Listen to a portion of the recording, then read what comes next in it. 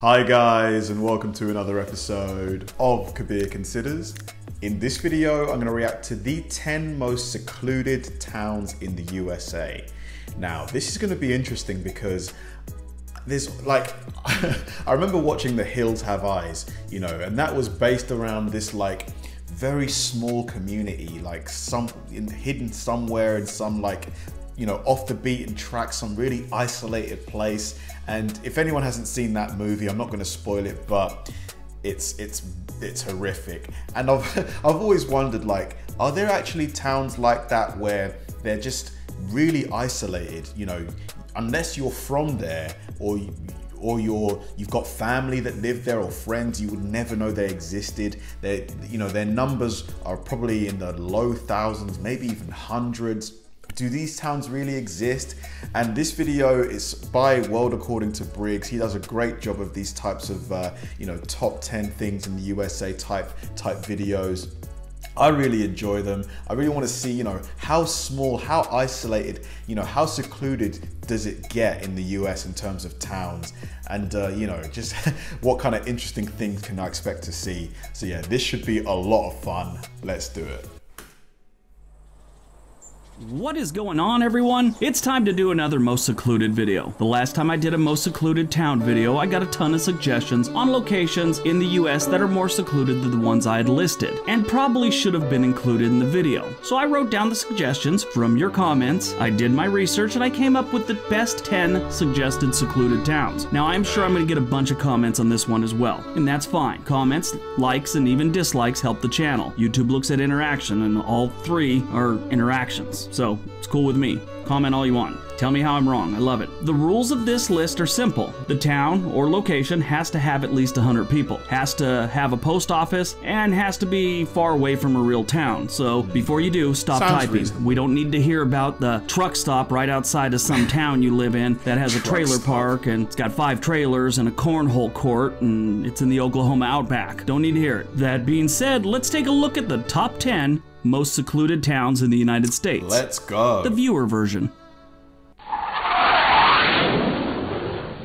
Number 10, Kremlin, Montana. Kremlin is a very small town in Hill County. The town is only about 282 acres wide, and it's just got 100 residents. The whole town is a farming community lacking a grocery store or a gas station. You'll have to drive 45 minutes if you want those luxuries, and that's in Big Sandy. Yes, Big Sandy is a town in Montana, not a nickname we gave my sister when she quit going to the gym. If you want to go another two hours away, you can get to the big city of Great Falls, Montana. That's like a giant metropolis by Montana standards. The community is so small, there's only one school and a fire station that doubles as the post office. Can you imagine that? The fire department races over to your house to put out a grease fire in your kitchen because you have no idea how to cook, while they're punching holes in your drywall to put out the fire that has now become electrical fire because you have no idea how to wire a house. And the chief says, Oh, hey, I got some mail for you in the truck. Comes back and goes, This one's from the IRS. Looks like you're getting an audit. Number 9. St. Paul, Alaska. St. Paul is the first of three Alaskan towns that made this list. St. Paul is a small town of about 500 people on St. Paul Island in the middle of the Bering Sea, and it's hard to get to, both figuratively and emotionally. Figuratively, it's a long, rough plane ride that sometimes requires a couple days of waiting for the weather to clear. Emotionally, that comes from a subscriber. She said she knew a girl from St. Paul that said the flight and the boredom took an emotional toll on her. That's why she never went back. The flight to St. Paul is a three hour flight over some of the roughest waters in the world. You know, Wow. when the flight attendant gives you that safety briefing, they could get to that one part about the water landing and just say, in the unlikely event of a water landing, don't worry about the flotation device, you'll be frozen solid in four minutes after we hit the water. Is Alaska really one of those places that, you know, if you wanted to disappear, like a lot of people I've noticed in TV shows like Breaking Bad, Jesse, like when he wanted to disappear, he went to Alaska. Could you literally go there, build yourself a house some in, in the forest and never be seen again if you wanted to? Is that possible in Alaska? Or is it quite densely populated now? Number 8. Point Lay, Alaska. Point Lay is on the Alaska northwest again. coast of the state of Alaska. Like many other towns in the northern region, there's no roads to Point Lay. Any food, any supplies the town needs, they have to be brought in by plane. Back in the Cold War era, it might have been a little bit in. easier. The Air Force actually had a small installation there for some satellite dishes, but those were taken down around 2005, 2006 after not being used for like 10 years. The population in 2000 was around 250 residents. As of 2015, the population has risen up to 270. They gained 20 people, with only about 85 residents in the workforce. So that's not good. Only about a third of the people actually working. Point Lay is a native village with about 80% of the population being native Alaskan. This thing is way out there. There's nothing around it except ocean and land, mostly frozen tundra. Crazy. So to live in a place like that, you've got to be pretty much self-sufficient. You've got to be able to like farm land, you know, grow crops, build stuff. Because if you can't do it yourself, chances of getting someone in to do it are slim, right? Number 7. Hulett, Wyoming. Almost every city in Wyoming that isn't Cheyenne, Casper, or Laramie is relatively secluded, but you definitely have the extra secluded Hulett. The population as of the 2010 census was about 385 people. Now it's estimated to be around 400. That just tells me there's 400 people in Wyoming that don't like having company. Hulett has one school, a few places to eat, a grocery store, and a golf club. Yes, Hulett has a golf course. Does a town in the middle of nowhere really need a golf course that is actually larger than the town itself? Maybe they like golf. Makes no sense. The nearest big city in Wyoming is Casper, and that's about three hours away.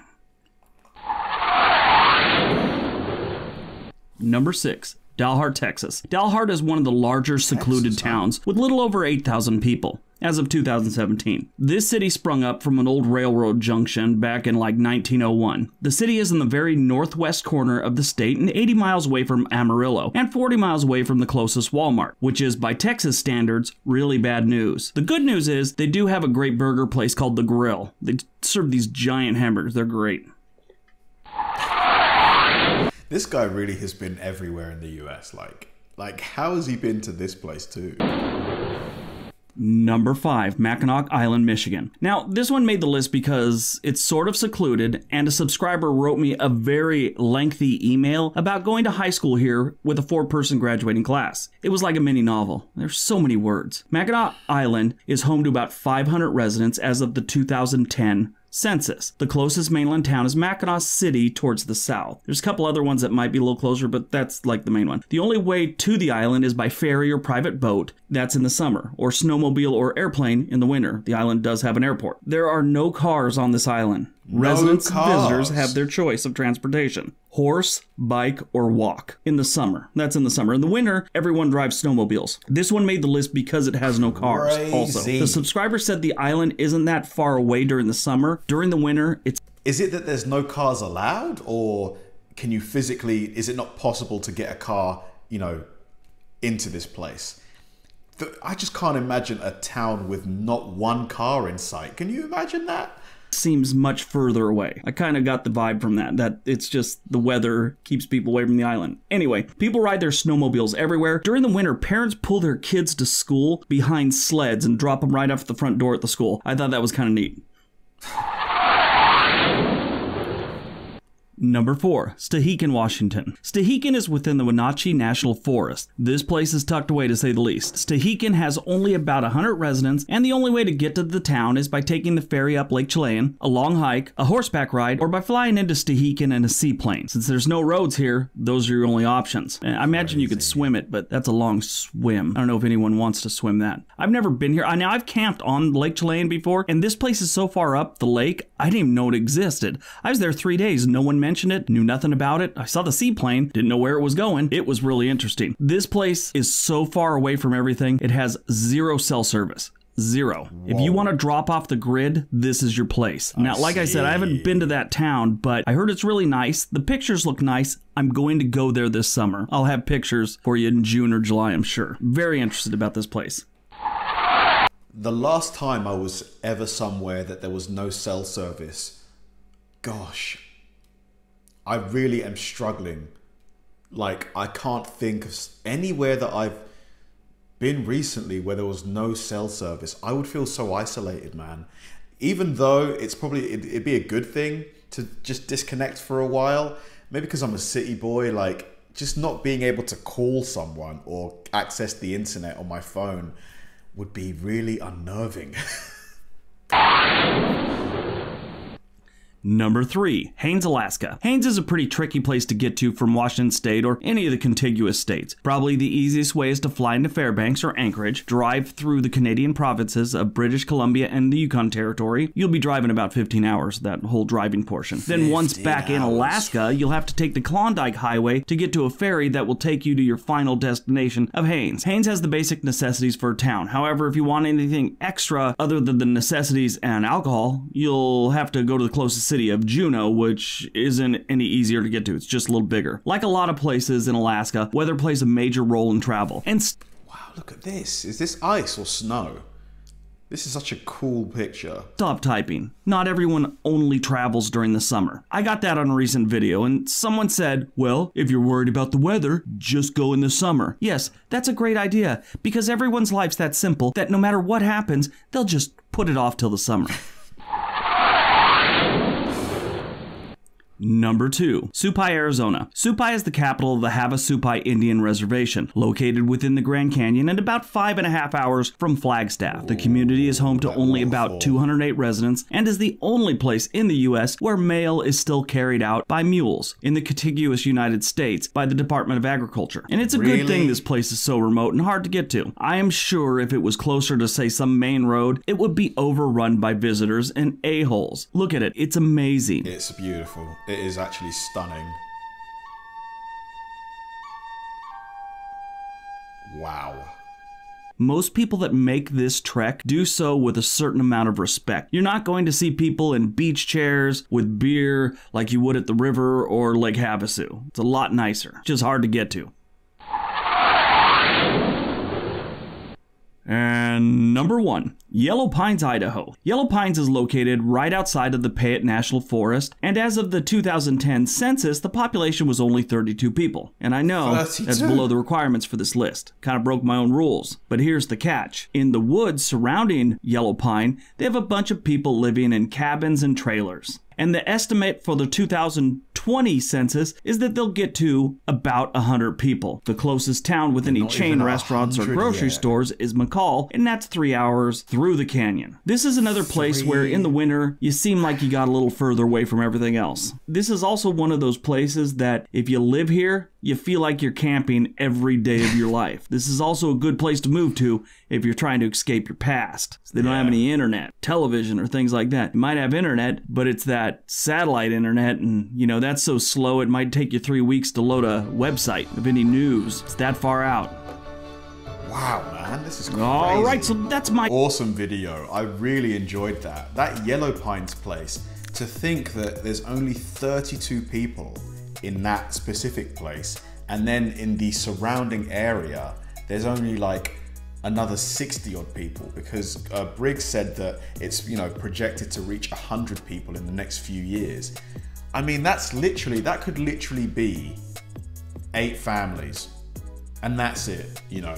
And he said that the nearest town is three hours away, and not a three-hour drive, three hours through the canyon.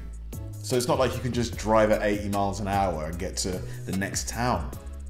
Absolutely mental to think that, you know, in this world where just technology is pretty much everywhere, or at least everywhere, you know, in the big cities, to think that there's still places that you literally, you know, he said that you literally cannot get cell phone service, you cannot get mobile internet. You are literally cut off from, you know, the the world in a way.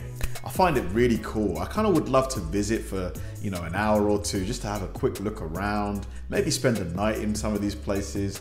It would be really cool just to actually unplug because I'm super like you know because obviously I'm a YouTuber. I'm all, I'm always online. It'd be nice to detach for a day or two just to actually feel what that's like. Because yeah, I can't say I've ever done it before. Thanks for watching, guys, and I'll see you in the next one.